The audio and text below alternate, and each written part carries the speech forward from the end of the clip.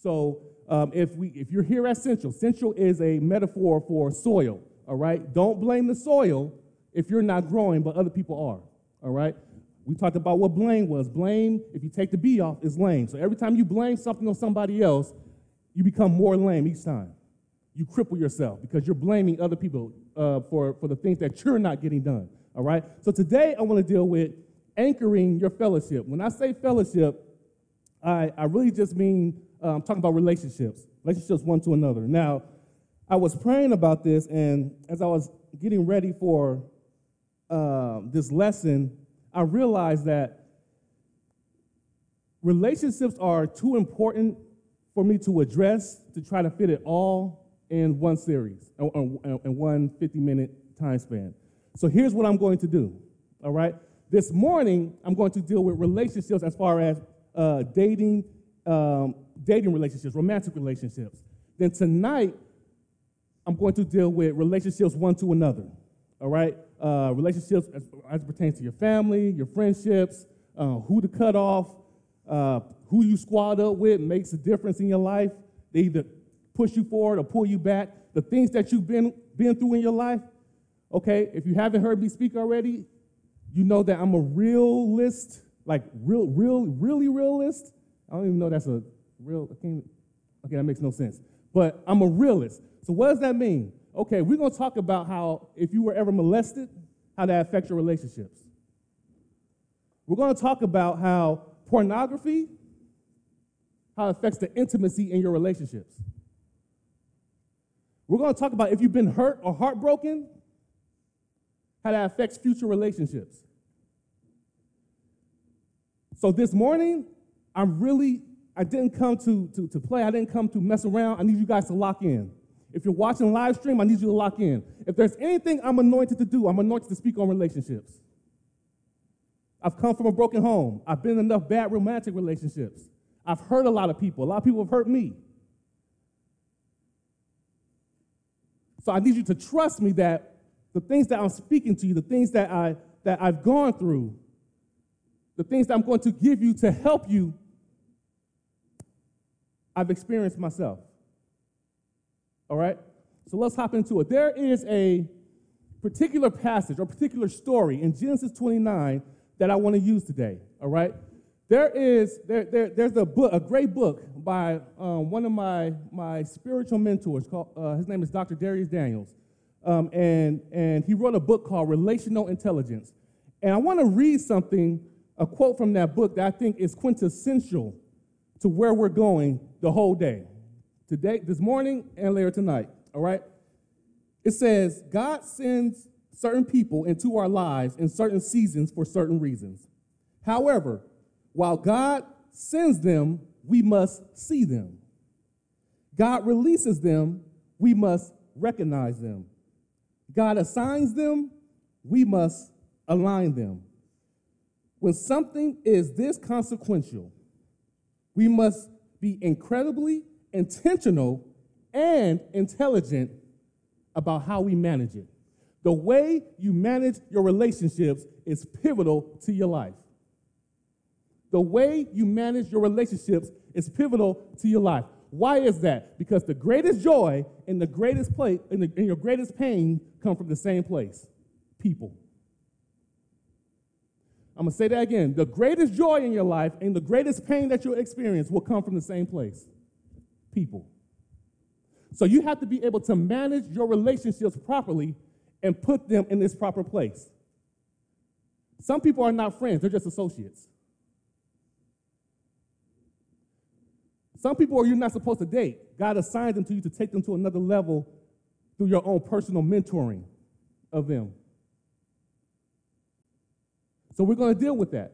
But today I want to start out dealing with what it means to be in a relationship, dating, and deal with what I like to call in, in, in, this book that I wrote, I wrote a book called um, Home Again. And I talk about in one of my chapters called Approval Addiction. Approval Addiction. All right? Approval Addiction. So there's the story. There's the story.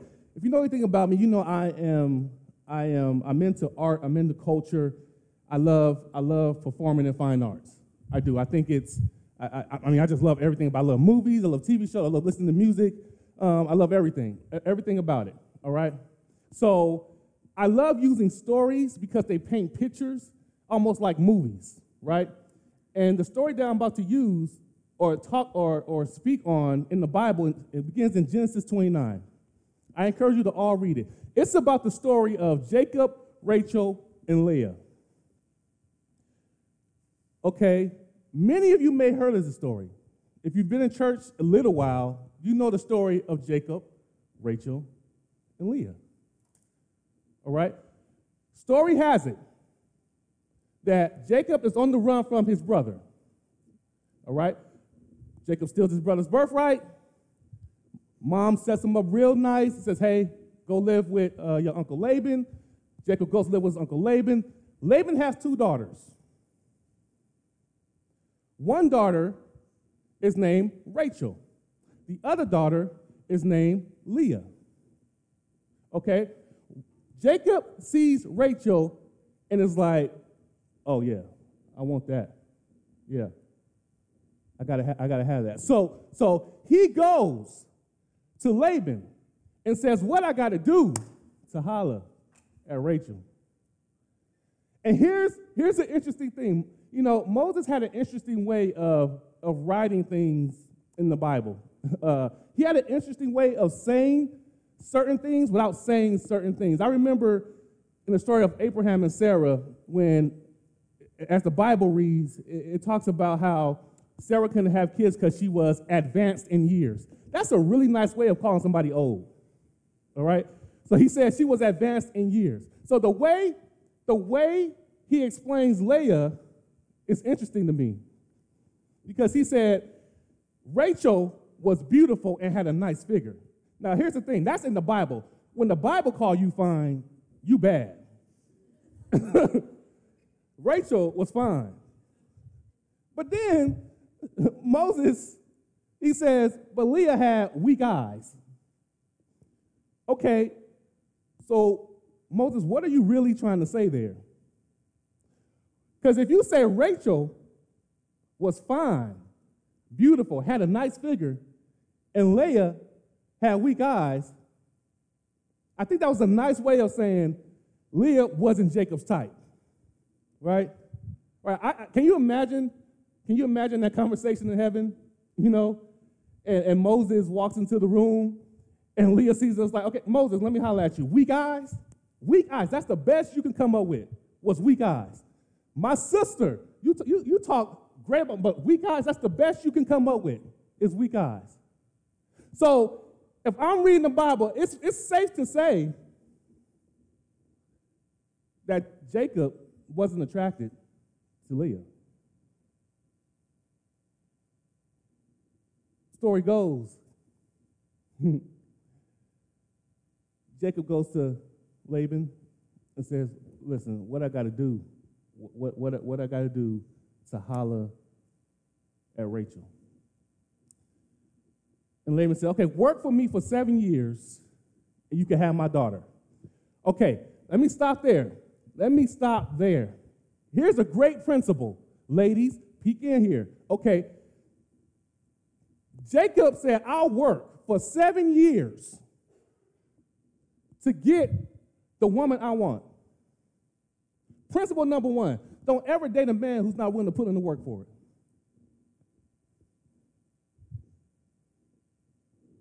Yeah. Don't ever date anybody who's not willing to put in the work for it.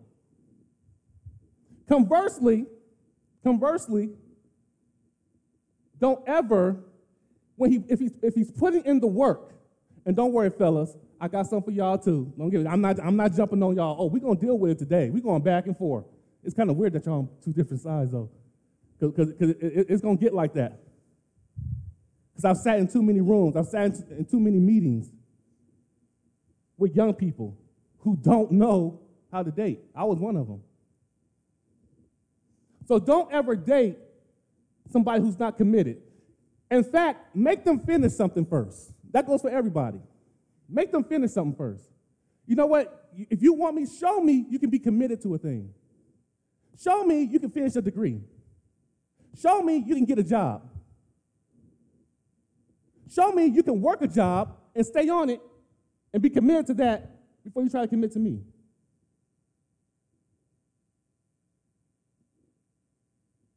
Yeah, Jacob was committed. Jacob bought in. Jacob wanted Rachel. He was not wavering. He said, Whatever I got to do, I'll do it. Story goes that Laban, because in the custom, since Leah was older, Leah had to get married first. That's just the, that was the custom of the time, right? So Laban, and here's, here's an interesting fact. Here's an interesting thing. People always say Laban tricked Jacob. I'm sorry, I, I, I you know, you know, this may be a little eisegesis, you know, um, but I think it's, it's, it's practical enough to, to, to say it. Okay, how does Jacob not know the custom of the time?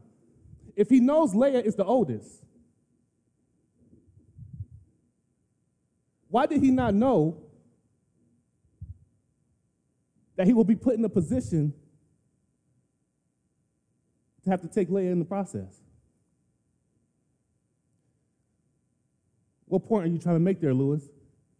Okay, you need to do your research before you date anybody. Because if you get into a relationship and say, well, I didn't know they were like that, well, you didn't wait long enough through the process to see what their real true colors were.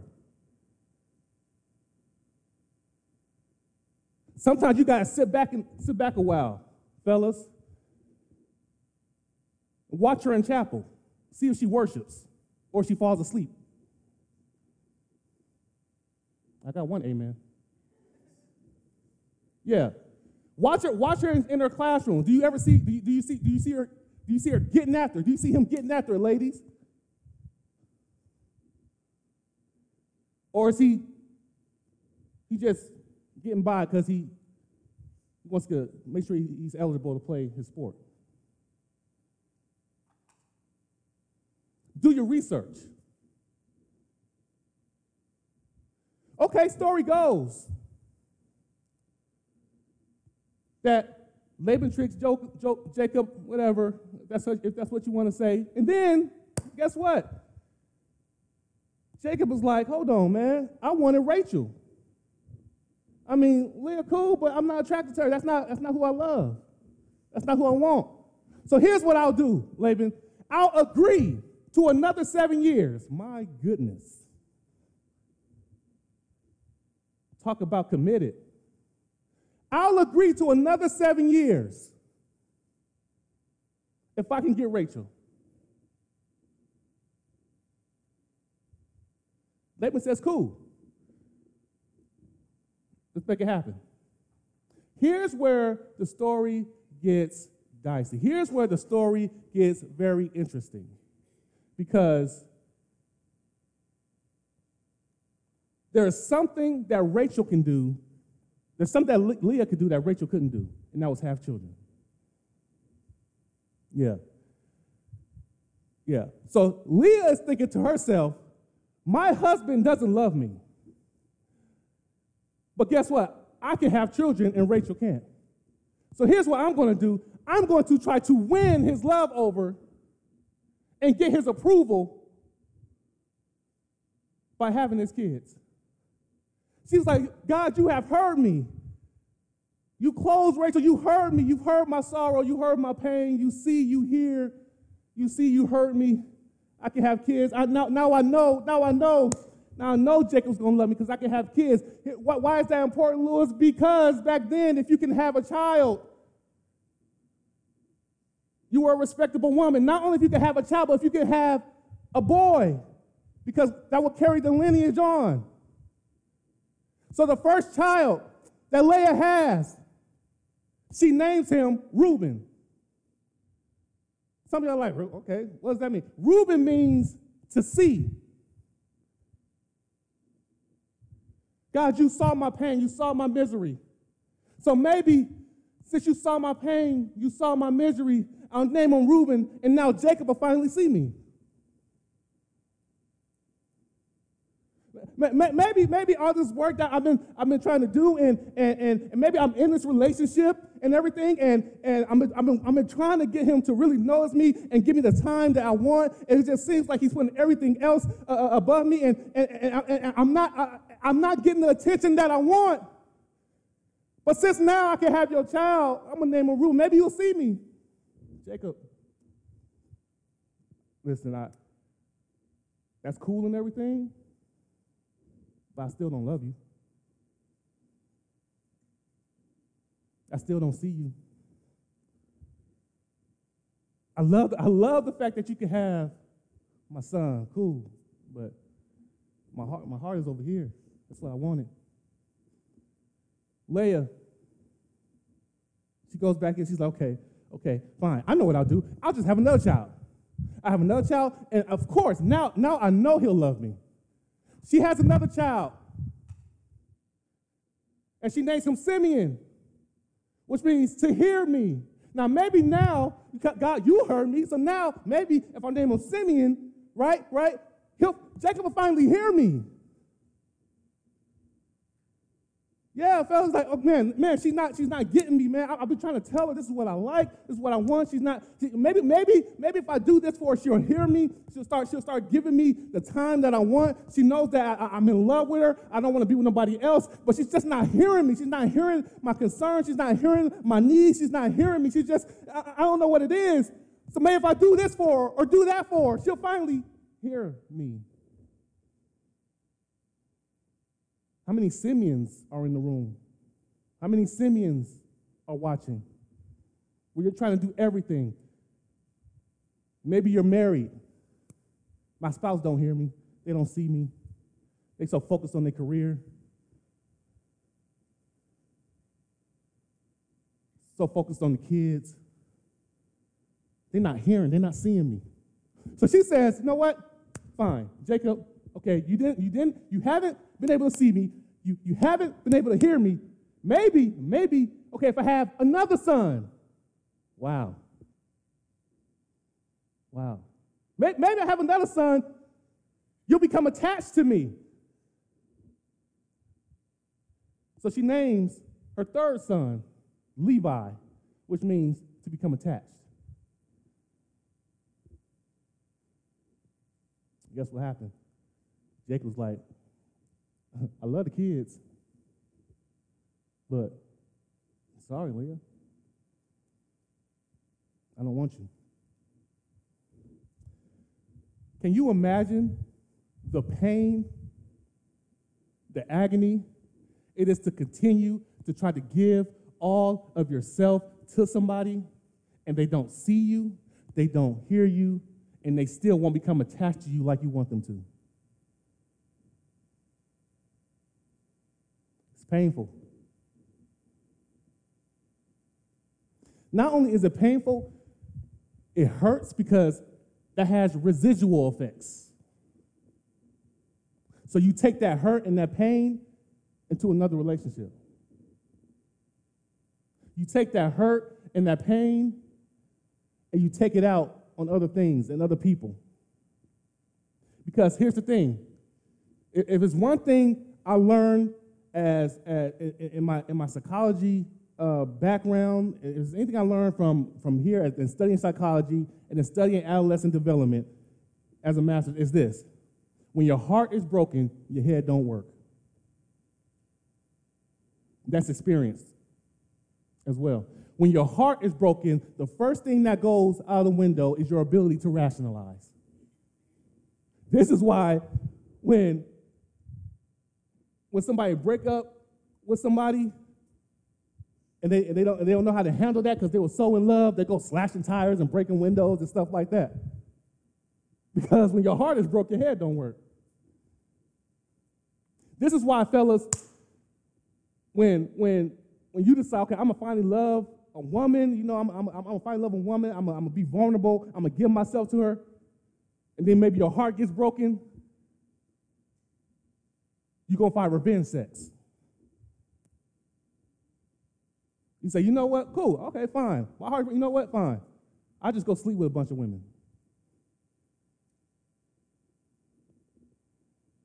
Yeah, this is why, ladies, when you get your heart broke and there's someone who really wants to love you the right way, you make that new person pay for the mistakes of the last person. So you guard yourself. You build a wall up. And now that, that new individual becomes the collateral damage of something he didn't even cause.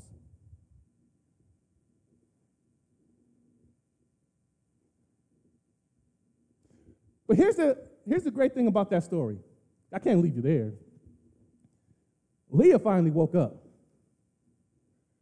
Leah finally said, okay, uh, listen, Jacob, you're not going to see me. You're not going to hear me. You're not going to become attached to me. That's cool. That's cool in the game. Fine.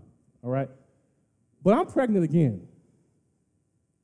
But here's the thing I'm dedicating this baby to myself. And she names the baby Judah. Judah means praise. He said, I'm going to give God praise. No matter what happens, it's time for me to heal from the fact that you can't see me how I want you to see me. And the Bible is clear. It says she stopped having children. Because here's the thing when you're fed up with something, when you finally get yourself together, when you finally realize you're worth something, you know what? Everything else doesn't matter. Everything else doesn't matter. When I say everything else doesn't matter, that means that means that, that you've come to a place in your life that you refuse to be offended. You refuse to allow somebody to hurt you. In fact, even when you start dating again, even when you start you start seeing stuff with 3D goggles.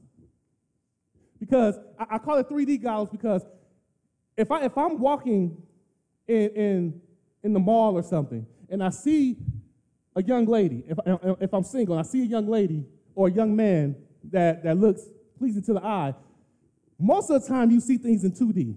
2D is height and width. 3D adds depth. So you like, ooh, he look good. Ooh, she bad. But the moment they open their mouth, you're like, oh, you stupid. Okay, uh-uh. Mm-mm. No. I, I see past that. I see, I see, I see past that. No, mm-mm. no, I'm done. Yeah, yeah. Or, or, or you get one of these. Hey, yo! Hey, hey, yo! Ladies, here's the thing. If you if a man ever does that, run quickly. He's about to ruin your life. That, hey, yo, don't, don't do that. Don't do that. don't do that. I know us. Don't do that. All right? There's a way to do it. There's a way to do it. so, so with that, with that, what am I saying? I'm saying there's healing that can take place. So when healing takes place, you could get anchored in your relationships and dating. All right? So how do you get anchored? I got four rules of dating. Four rules. All right? We're going to unpack them right now. The first rule is there must be physical attraction.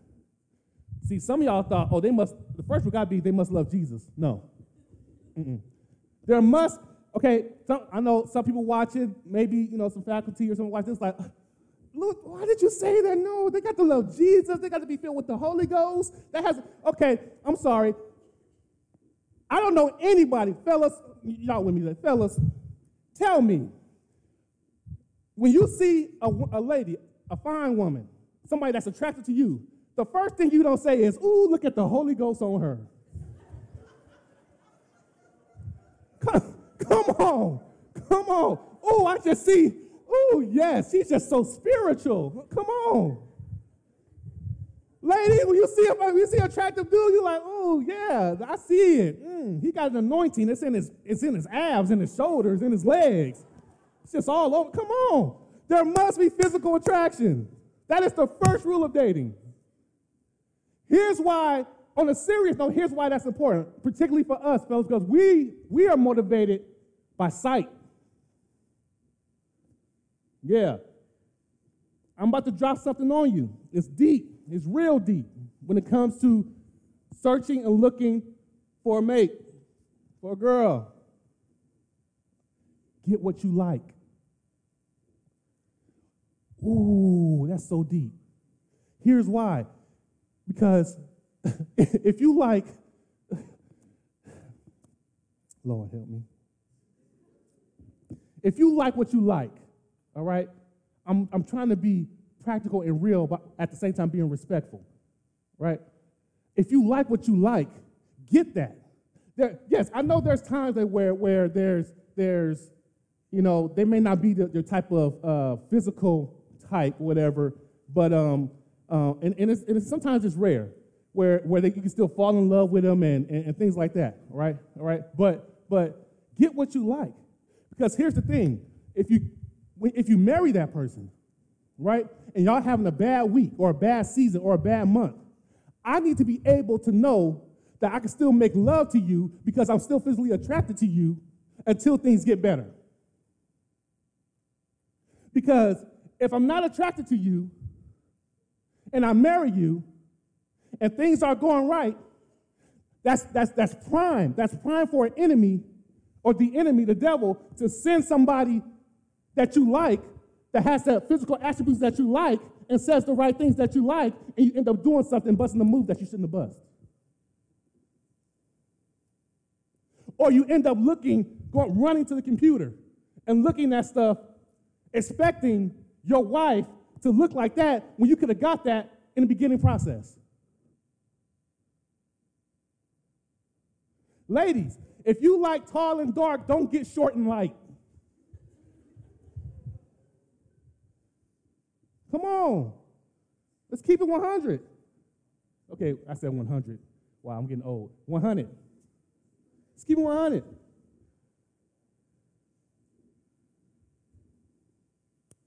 Get what you like. That's the first rule of dating. There must be physical attraction. I have to be able to want to make love to you even when we ain't kicking it right now, even when we ain't we ain't seeing eye to eye. All right? Rule number two. Oh, they must love Jesus. There we go. There it is. Rule number two is they must love Jesus. Now, I know people are at different points of their faith journey. I get that. And, and ladies, I'm to talk to you for me because I've sat in these meetings before where women was like, okay, okay, Lou, I, I, I love him, but he's not quite there yet. And I know, I really think he's just so cute and and he just has so much going for him. And you know what? He's not he's not quite there yet. He's still kind of rough around the edges, and you know he you know he's still trying to find his favorite. But I can change him. Mm-mm. Mm-mm. Don't do that. Don't do that. I can I can change him. I know I know me. I I I, I can ch- no. Mm, don't do that. There was a statement that my spiritual spiritual father in the gospel made that I when I was younger. I was sitting, I was at your age and uh, I was in a relationship my senior year. He, he said something that was so, I thought it was, I thought it was so false until I actually got married. He said, what you get, what, you, what you're doing now in the relationship that you're in is going to double when you're married. So if you arguing like crazy now with a person that you're dating, and that does not change in the dating process, when you get married, y'all gonna argue a lot more in the marriage process. Because now you can't just up and leave when you get mad.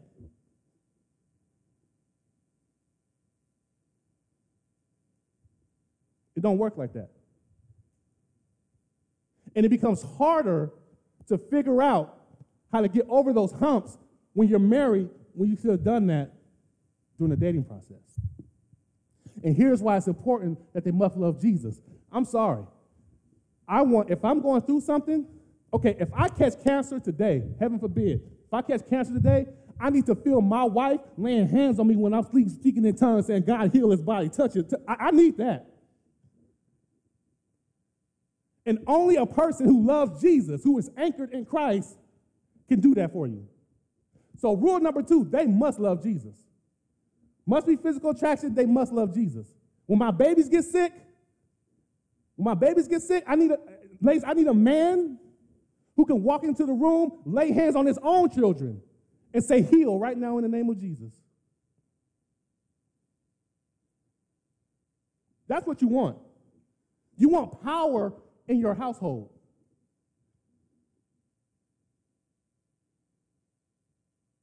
Rule number three. I didn't like that one. Rule number three is talk it out. There must be physical attraction. They must love Jesus. Rule number three is talk it out. All right? Um, I don't know how y'all doing dating right now. You know, I, I was married by the time COVID hit. I don't know, y'all doing Zoom dates eh, or I don't know. he was like, oh, yes, we on a Zoom day. He showed me a little rose on the screen. He had the virtual background. It was so cute. Yeah, I, I don't know what y'all doing now, all right? So, so, so, but I know one thing you can do, talk it out. Talk it out. Yeah. Yeah, I um I think it's very important that not only do you talk it out, you talk about the right stuff. Yeah, I'm gonna park here just for a second. Let's go here. Um, can I ask you a question? yeah, girl, you know that's anything. All right. Um, how's your relationship with your mama? Do you, do you love your mama? Do, do you have mama issues? Because I need to know that if I decide to do this, um, I'm not, I, am not trying, I'm not, I ain't got to be your mama and your girlfriend. I need you to be whole by yourself, brother. I can't be nurturing you and trying to figure out if I want to marry you at the same time. Yeah. Okay. All right. Uh, that's cool. That's cool. That's cool. Yeah. I feel you. So, so, okay, can I ask you something? Yeah. Um, do you want kids? And if you do, how many? Because I need to know, I'm a family man. I've always wanted to be a family man. And the last thing I need is you going behind my back tying your tubes or doing stuff to keep me from giving me what I want. Oh, you probably think that's not, oh, that happens. That happens. Yeah, so I need to know now if, if you if you if you if you're an independent businesswoman, you worry about your career, you trying to excel in the corporate world, or you trying to do this family thing at the same time. Because if you do, we gotta gotta figure out balance. Okay, and I said that word. I didn't. I wasn't planning on going here, but the word came out, so I gotta pause here and parenthetically assert that I don't believe in balance when it comes to um, things of life. I don't. Because when you say, well, I got to balance my life, that means everything in every season always has the same priority. And that's just not true. I believe that you shouldn't try to find balance, you should try to find a rhythm depending on the season that you're in. Find a rhythm that works for you. Because there's going to come a time, if you have kids, or when your kids are grown, your kids are not really your priority anymore. Right? So you have to find a new rhythm based on the priorities of that season. That was just a little nugget for you, like you're in college, uh, and going to classes, playing sports, and all that. And, you and, you, and those who maybe say, I, don't know, I can't find the balance. I'm trying to do it. Well, that's your problem. You're trying to find balance. Everything is not on the same playing field. Find a rhythm. Find a rhythm based on what's important right now. All right? All right, but back to talk it out. Okay? Um, how's, I mean, uh, how's your relationship with, with your dad? Do you have daddy issues? Yeah. Do you, do you have do you have daddy issues? Um, because I, I, need to know that. Right. Um, okay. How many people have you been with? Some of you say, well, that's not important. Okay. Well, it's a little extreme, but it's it's been a, a, a listen. I was a youth and young adult pastor for about four years. Most of these stories are real. It was a situation where they didn't talk about this. Old buddy was dating a cheerleader, went to the football game, found out that his girlfriend, his new girlfriend, had slept with like half of the football team. Oh, do you think it matters now? because if we get into this, I need to know who you've been with before we show up to the game. It's not, here, here's the thing it's not a deal breaker, it's information, it's data. You need it. Yeah, talk it out. You have to talk it out. Okay? How's your credit? Some of y'all laugh. I don't know why y'all laugh. something. Because if you was younger and your parents put everything in your name, we got a problem. How's your credit? How do you handle money? Do you budget? Do you like to travel? It, it, what, what, are the things you like to do? Because me, I, maybe I'm just maybe you're just a homebody. You you good with going to the movies every now and then, but you know you just like to kick it at home, save money. Um, your goals is that you want to have uh, a big house, bunch of cars, and all that. So you, you're more frugal uh, and tight with your finances. But you maybe want you may be dating somebody or somebody that you're interested in who may want to travel around the world. So talk finances. Yeah. Talk it out. Let's, let's go a little deeper as we come into our closing time. Um, have you ever been sexually assaulted, molested? Because if we decide to do this and, and go the distance, I don't want to be making love to my wife or my, my husband, and the person you see is the person that you never healed from.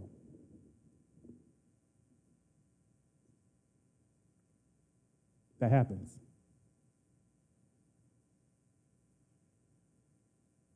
Have you ever struggled with pornography? Because, listen, that is, is not a real picture of what lovemaking is. So you expected me to be freaky Susie, and I don't want, and I can't do that.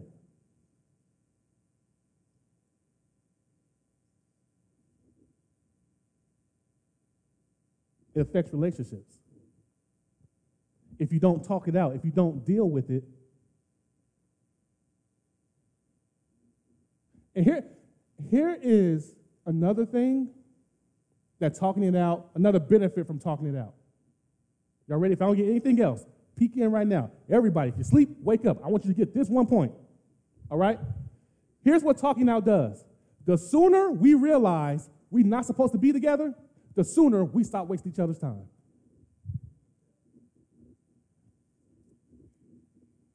The sooner we realize we're not supposed to be together, the sooner you can go on your merry way, and I can go on mine, and you know what? God bless you. Because we sitting up in this, we playing games, and we going through emotion, we, we breaking up, getting back together, breaking up, getting back together, breaking up. We waste each other's time.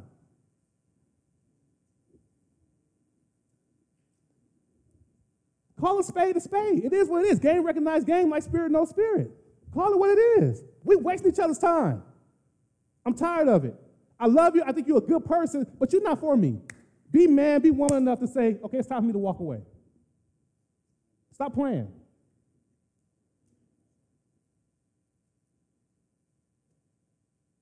Because the greatest joy and the greatest pain come from the same place people. And if you put people in their proper place, and sometimes that proper place is not in your life, you begin to move on with your life. Because if you don't manage your relationships, your relationships will manage you. And if your relationships manage you, you will mismanage your life.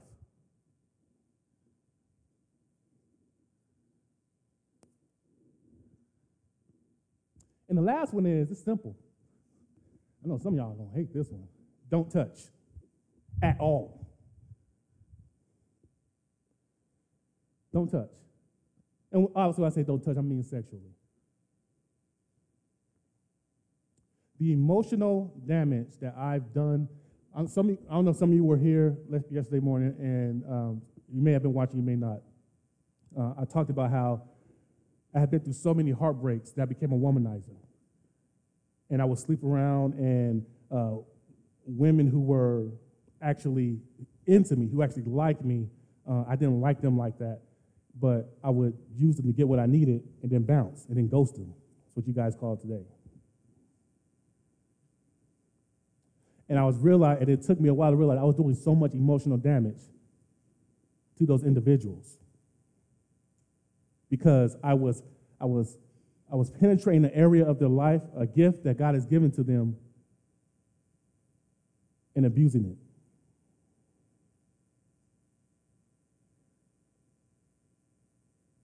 I think the greatest one of the greatest things you can do in the dating process is love somebody so intimately, so deeply, in and out, and you never touch them until marriage. Because that means there's four levels to a relationship emotional, spiritual, intellectual, and physical. If the physical, this is, this is proven, proven research. If the physical comes before the other three, the other three never fully get there. If the physical comes before you, you emotionally attach to them, emotionally get, you know, understand their emotions and can trust them with secrets and thoughts until you can uh, know them in and out, how they think, uh, their mental capacity, if you're into them, if they, if they can hold a conversation and things like that, if you can um, uh, uh, uh, spiritually, spiritually, if you don't have a spiritual name, if you can't, if you don't learn if they're, what, what their spiritual backdrop is, but you go straight to the physical, the other three never fully get there. If they do, it's extremely hard. Particularly for us fellas, because our nature is to conquer. This is why after we sleep with somebody, it's like, okay, what's next? You may love the individual, but it's still like, okay, we already, we already, we already hit the climax, the apex of what a relationship's supposed to be. What's next? So as I close, if you're going to be anchored in your fellowship in regards to dating and relationships, I believe you have to do it properly. That is, um, you must be physically attracted to them. They must love Jesus. You guys have to talk it out. And don't touch. Don't touch. All right? Tonight, I'm, uh, it's going to get a little heavier because I'm, I'm going to deal with uh, pain that comes from individuals you're supposed to trust. It's different when pain comes from a dating relationship or you know a boyfriend or girlfriend, somebody you met along the way in your life. It's another thing when the people closest to you hurt you. Family, brothers, sisters, uncles, friends, people that you grew up with. So we're going to talk through how to manage some of those relationships. All right? So let's pray. God, we thank you for another day. We thank you for who you are. I just pray right now that you begin to work in the minds and the hearts of these young people, God, if they if they're anticipating dating somebody, if they're into anybody, God, we ask that you begin to um, give them the right, give them the discernment to understand the necessary steps to take so they may have a healthy relationship, a healthy view of what uh, what dating is or what finding a spouse is, looking for a spouse is, God. And God, if anyone is dealing with approval addiction, where they're trying so hard for somebody to see them, to hear them, to become attached to them, I ask that you give them peace and the joy that surpasses all understanding. In your precious name of our Lord and Savior Jesus, we thank you. Amen.